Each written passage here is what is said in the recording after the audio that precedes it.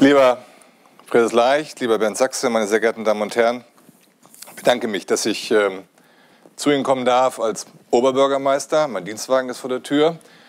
Ähm, auch nur in der Rolle für alle, die sowas nachhalten. Und es ist, glaube ich, auch richtig, dass ein Oberbürgermeister da ist und mit dem Bürgermeister zusammen darüber nachdenkt mit Ihnen, welche, Herr Leicht hat das richtig angesprochen, welche Rolle spielen eigentlich diese Städte in unserem sehr überschaubaren Schleswig-Holstein? Welche Rolle haben wir für die Mobilisierung von Wachstum in Schleswig-Holstein, für die Organisation von neuen Kräften? Was brauchen wir aber auch vom Land, um Herausforderungen, vor denen wir alleine vielleicht hm, scheitern könnten, denen wir alleine nicht gerecht werden, um denen gerecht werden zu können, mit der Solidarität eines gesamten Landes? Wie müssen wir unsere Kräfte so aufbauen, dass wir, wenn wir auf 2030 schauen, Schleswig-Holstein nach vorne bringen, im Bund mit Lübeck und Kiel und nicht erleben, dass wir am Scheitern von Städten das Scheitern des gesamten Landes produzieren. Wir reden, wenn wir über unsere beiden Städte und ihre Umlandregionen nachdenken, über rund 600.000 Einwohnerinnen und Einwohner, also ein gutes Viertel, etwas weniger des gesamten Landes. Es ist in Schleswig-Holstein überraschend ungewöhnlich, über Zusammenarbeiten nachzudenken. Es ist überraschend ungewöhnlich, über Strukturveränderungen nachzudenken. Wir tun uns wahnsinnig schwer, Prozesse und diese Strukturen in Frage zu stellen. Machtdebatten werden geführt anhand von solchen Strukturen, die, naja, spätes 19. Jahrhundert sind und an denen wir schon leiden in Schleswig-Holstein. Wir leiden an einer Kommunalstruktur, die Zusammenarbeit fast bestraft, jedenfalls politisch, und sie nicht belohnt.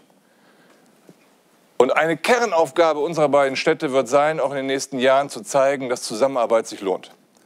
Eine Kernaufgabe wird sein, vorzuleben der kommunalen Familie, aber auch dem Land, dass wir in der Lage sein werden, Verwaltung neu zu definieren, dass wir in der Lage sein werden, einen, wie ich glaube, revolutionären Prozess, den wir brauchen, jedenfalls wenn wir auf 2030 schauen, in der Neudefinition öffentlicher Verwaltung zu zeigen, wie geht das eigentlich, eine Verwaltung wegzubekommen von Standorterledigungsverwaltung hin zu einer Aufgabenerledigungsverwaltung.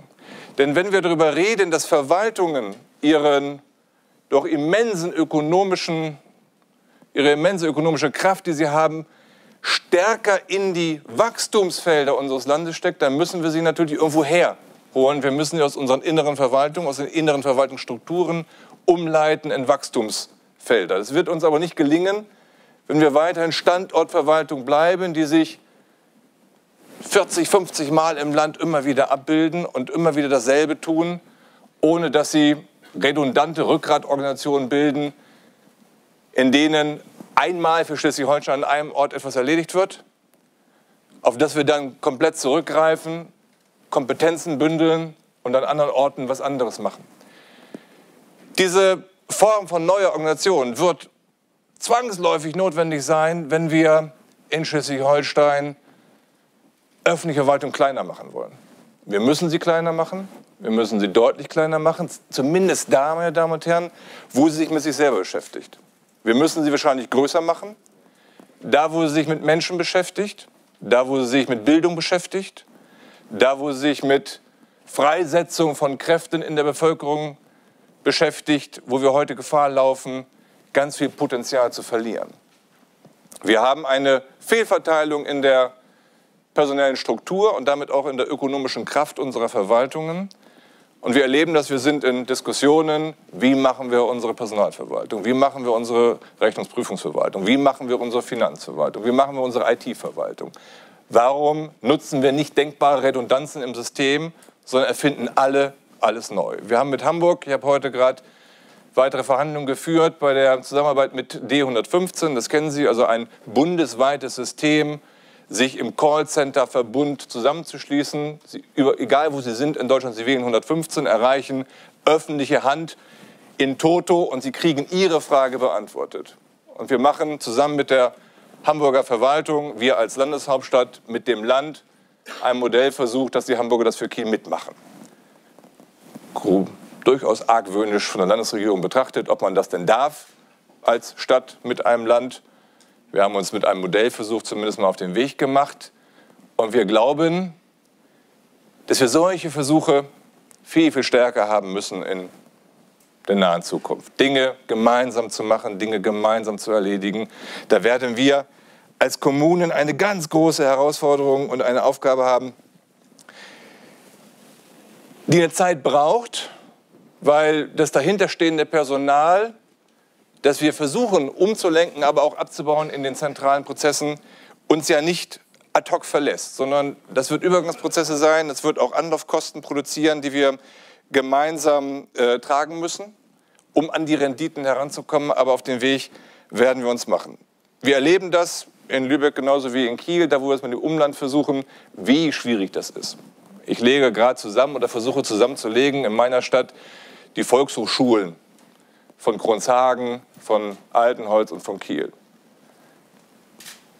Die Debatten im Hauptausschuss in Kronshagen sind nicht leicht. Die drehen sich dann um die Frage, welches Wappen steht auf dem Programm. Und wenn das falsche Wappen draufsteht, dann scheitert sowas auch gern schon mal. Also schnell als Oberbürgermeister angerufen sagen, da muss nicht das Kieler Wappen draufstehen. Da muss es nicht draufstehen, wenn wir dann zusammenarbeiten wollen. Aber das sind die wahren großen Probleme von Zusammenarbeiten, die wir miteinander haben. Wir werden das schaffen, wenn wir denn verstehen miteinander, wie öffentliche Verwaltung in Zukunft sein soll, wie öffentliche Hand in Zukunft sein soll. Was Städte, wenn sie denn Wachstumskräfte freisetzen wollen, was sie leisten können müssen. Wenn wir zum Beispiel leisten müssen, regionale Berufsbildungszentren aufzubauen. Wir versuchen in Kiel gerade unsere wirklich maroden Berufsschulen komplett zu erneuern. Das ist ein Investitionsprojekt von 100 Millionen Euro in den nächsten Jahrzehnten, zu dem wir eigentlich nicht in der Lage sind, zu dem wir aufgrund unserer eigenen haushalterischen Kraft nicht in der Lage sind. Wenn ich dieses Projekt aber nicht angehe, dann wird meine IHK, dann werden meine Handwerksunternehmen irgendwann sagen, wir finden bei euch keine ausreichend qualifizierten jungen Menschen mehr. Ihr seid so unattraktiv mit diesen Rottenschulen, die kommen gar nicht mehr zu uns, weil sie da nicht zur Schule gehen wollen. Für dieses Projekt brauche ich Kraft. Wie bekommen wir in Zeiten, in denen wir über Konsolidierung reden, parallel ein Pfad von Investitionsdebatte in unsere politische Diskussion? Es passt nämlich nicht zeitgleich rein. Das erleben Sie an allen Konsolidierungsdiskussionen in öffentlichen Haushalten, die Sie verfolgen. Sie konzentrieren sich im Kern aufs Kürzen. Und dann sagen wir, ja, das sind ganz mutige Sparpakete, die zum Beispiel diese Landesregierung vorschlägt. Aber der Mut, wenn er denn allein darin besteht, manchen etwas wegzunehmen, ohne eine strukturelle Antwort zu haben, auf was für ein Ziel baut dieser Mut eigentlich auf? Wo will er eigentlich hin, dieser Mut? Was sind denn die Wachstumskräfte dieses Landes, die der Mut dann füllen soll? Da fehlen uns die Antworten im Land, da fehlen uns auch die Antworten in unseren Städten. Getrieben auch durch Kommunalaufsichten, die sagen, ihr dürft heute eben gerade nicht investieren in Sozialpädagogen, die in Mäuslingen oder bei mir in Kielgarden Problembereiche mal versuchen aufzugreifen, die es möglich machen, in meiner Stadt 100 Millionen Euro allein am Ostufer in einer Region von 25.000 Einwohnern im Jahr an Sozialtransferkosten, ja, nicht für Wachstum, sondern für die Stabilisierung einer sozialen Struktur zu verwenden. 100 Millionen Euro öffentliche Mittel jedes Jahr, ziemlich stabil über die letzten Jahre, verwandt für die Struktur von sozialer Situation, wie wir sie vorfinden.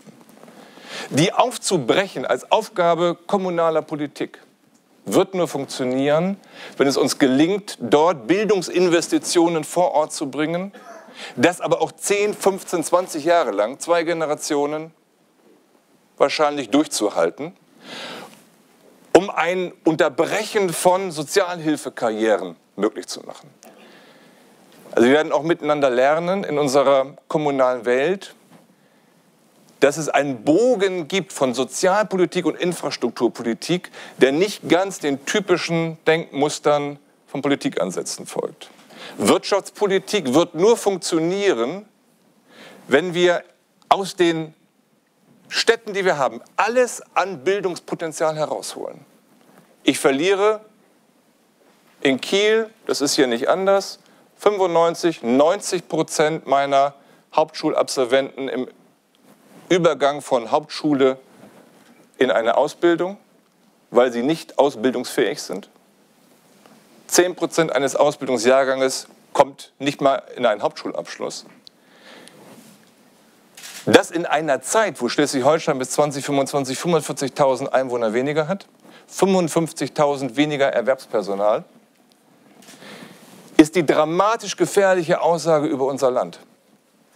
Wir haben weniger Menschen und wir heben nicht das gesamte Bildungspotenzial. Und dann überlagern wir es noch mit wahnsinnigen Transferkosten. Das miteinander aufzubrechen, das kann, glaube ich, nur kommunal passieren. Da werden die Städte als die Orte, Kiel wird bis 2025 noch einer der wenigen mit dem Hamburger Umland sein, die wachsen werden nach der heutigen Bevölkerungsprognose der Landesregierung. Da werden die Städte Vorbildcharakter haben. Und wenn wir dieser Aufgabe nicht gerecht werden, diese Sozialkarrieren zu unterbrechen, Bildungsangebote zu machen, die jungen Leute so auszubilden, dass die Unternehmen in den Kammern auf ein vernünftiges Potenzial von jungen Fachkräften zurückgreifen, dann wird Schleswig-Holstein keine Chance haben. Wenn wir es leisten, wenn wir auf dieses Ziel hin uns konsolidieren, wenn wir auf dieses Ziel hin Verwaltung umbauen, die Kernverwaltung kleiner machen und die Bildungs-, nicht die Sozialverwaltung, die Bildungsverwaltung stärken, mit dem Ziel, dort anzukommen, wo eine gebildete Gesellschaft hingehört, dann wird diese Region als Brückenkopf nach Mecklenburg, als Brückenkopf nach Skandinavien, als Teil zwischen zwei Metropolregionen, als Gürtel zwischen diesen beiden Metropolregionen, der sie zusammenbindet, 2030 das sein, was ich mir von Schleswig-Holstein vorstelle. Die nordeuropäische Wachstumsregion, die verstanden hat, dass sie als europäische Region aufzutreten hat, die nicht eine Randregion von Deutschland ist, sondern die neue erste große europäische Wachstumsregion, die die Impulse aus Hamburg holt, die Impulse aus Kopenhagen holt, die Impulse aus Schweden holt und die übrigens einen großen Vorteil hat in ihren Städten gegenüber Hamburg und Berlin. Wir werden Städte sein, die 2030 noch funktionieren. Wir werden Städte sein in einer Größenordnung, die sozialen Frieden noch organisieren können. Und wir werden Orte sein, wo Eliten auch leben wollen, weil Eliten erleben, dass wir sozialen Frieden in unseren Städten sicherstellen. Das sind Aufgaben, vor denen wir stehen, über die es sich lohnt zu diskutieren und vor denen wir auch keine Angst haben müssen. Wir müssen nur aufhören, Schleswig-Holstein permanent so zu tun, als scheitern wir an diesen Herausforderungen. Wir müssen sie angehen. Und mein Eindruck ist, ich hatte heute Morgen, heute ist mein Lübecker Tag, äh, Gelegenheit mit der Handwerkskammer Lübeck im Berufsbildungszentrum in Kiel über deren Aufgaben und Arbeiten zu reden. Ich glaube, die Zusammenarbeit zwischen Lübeck und Kiel ist auf einem guten Weg. Wir haben die Ideen und Bert Sachse trägt das jetzt weiter fort. Vielen Dank.